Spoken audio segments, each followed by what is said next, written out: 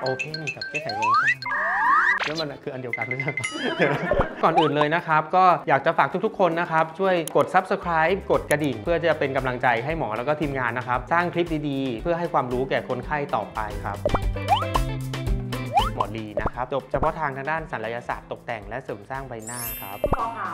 การเสริมจมูกแบบโคลสกับการเสริมแบบโอเพนน่ะต่างกันยังไงคะจริงๆแล้วเนี่ยการเสริมจมูกของเลอรักนะครับมีทั้งหมด 7 เทคนิคนะครับแบ่งคร่าวๆออกเป็น 2 อย่างก็คือเป็นแบบปิดหรือแบบ close กับแบบเปิดหรือแบบ open นะครับซึ่งแบบ open เนี่ยก็จะเปิดเข้าไปดูโครงสร้างภายในของในจมูกได้ ยืดเนื้อเยื่อให้มีความตรงมากขึ้น อาจจะใช้เป็นในกลุ่มพวกซี่โครงตัวเองซี่โครงสังเคราะห์หรือซี่โครงธรรมชาติผลลัพธ์ที่ได้เนี่ยก็คือจะมีความเป๊ะมากกว่าสวยมากกว่าละมุนมากกว่า แบบปิดนะครับ หมอก็จะลงแผลหนึ่งข้างหรือสองข้างร่วมกับการใช้ซิลิโคน เป็นวัสดุภายในร่างกายคนไข้เช่นกระดูกอ่อนหลังหู ทีนี้เนี่ยแบบปิดมันก็จะมีข้อจำกัดก็คือ ในคนไข้ที่เคยเสริมจมูกมาแล้ว มีพังผืดเยอะเนื้อจมูกยืดได้น้อย ซึ่งข้อจำกัดพวกนี้ยทำแบบปิดแล้วผลลัพธ์อาจจะออกมาไม่ดีนะครับก็เลยต้องมีการทำเป็นแบบเปิดหรือแบบโอเพนสุดท้ายนี้นะครับก็อยากจะฝากถึงคนไข้ที่สนใจอยากจะเสริมจมูกนะครับไม่ว่าจะเป็นเทคนิคปิดหรือเทคนิคเปิดนะครับให้เข้ามา แล้วก็ให้หมอประเมินเรื่องของจมูกโครงสร้างจมูกทั้งภายในและภายนอกนะครับแนะนำเทคนิคที่เหมาะสมเพื่อที่จะให้ได้ผลลัพธ์ตามที่คนไข้ต้องการ และมีความปลอดภัยมากที่สุด